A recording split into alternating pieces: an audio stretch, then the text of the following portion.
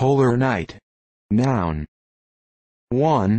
A period of darkness that occurs in polar regions north from the Arctic Circle and south from the Antarctic Circle and during which the sun stays below the horizon.